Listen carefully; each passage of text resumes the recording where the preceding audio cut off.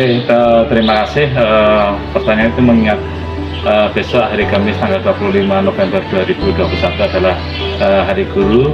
Kita sama-sama akan memperingati Hari Guru tersebut. Alasan mengapa saya menjadi guru yang paling mendasar adalah profesi guru itu merupakan salah satu profesi yang sangat mulia. Dikatakan mulia kenapa? Karena salah satunya adalah menyampaikan ilmu kepada orang lain ketika orang lain memperoleh ilmu maka banyak hal yang bisa dimanfaatkan oleh orang tersebut. Salah satunya bisa mengubah hidupnya dari hal yang tidak tahu menjadi tahu. Bisa mengubah hidupnya dari yang tidak berprestasi menjadi berprestasi. E, bisa pula berperilaku dari yang tidak baik menjadi hal yang baik. Itu yang pertama yang mendasar bahwa e, mengapa saya memilih jadi itu karena itu adalah profesi yang sangat mulia.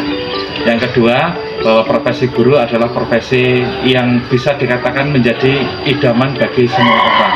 Boleh dikatakan itu profesi saat ini lebih-lebih saat ini ya profesi guru ini karena mungkin salah satunya adalah uh, mendapatkan uh, apa ya tunjangan-tunjangan uh, yang mungkin tidak diperoleh oleh profesi-profesi yang lainnya sehingga ada jaminan tunjangan termasuk tunjangan untuk hari-hari itu. Milih menjadi seorang guru itu pertama panggilan jiwa karena ya kita melihat secara apa keluarga kami memang keluarga guru jadi memang uh, ini sudah menjadi cita-cita kecil untuk menjadi seorang guru uh, terutama ya ini karena memang bakat saya kemudian jadi guru. Jadi memang saya memfokuskan untuk menjadi seorang guru.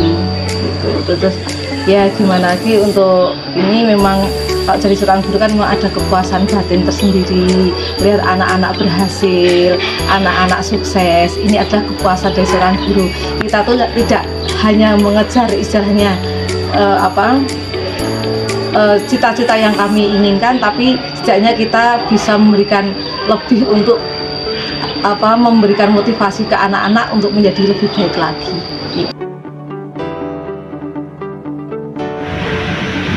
Assalamualaikum warahmatullahi wabarakatuh. Eh, kami selaku pendidik, khususnya di dunia pendidikan di sekolah, berharap bahwa anak-anak kami, anak-anak pendidik, eh, memiliki kecerdasan, memiliki budaya yang bagus, eh, memiliki kompetisi, sehingga dengan kompetisi itu eh, kita akan lebih maju. Harapan yang terakhir bahwa anak-anak diharapkan menjadi pewaris uh, pembangunan bangsa Indonesia yang akan mengisi kemerdekaan ke depan.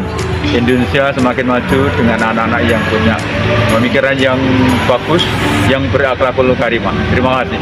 Wassalamualaikum warahmatullahi wabarakatuh. Uh, harapan saya selaku guru, selaku pendidik, semoga pendidikan di Indonesia semakin maju, Bapak Ibu guru juga semakin memperkaya ilmu pengetahuannya supaya dalam mengajar juga mengikuti perkembangan zaman sehingga anak-anak didik juga merasa nyaman dan merasa mampu mengikuti perkembangan zaman dan mampu bersaing dengan generasi muda negara lain. Terima kasih.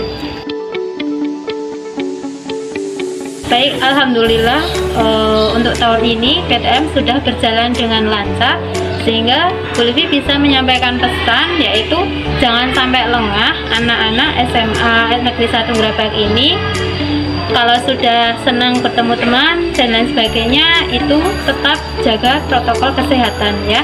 Tetap mencuci tangan dengan sabun menjaga jarak dan memakai masker gitu. Terima kasih. Keren. Mantap. Menginspirasi. Guru adalah pembimbingku berjasa istimewa. Sumber ilmu salut. Semangat. Ya, hebat. Top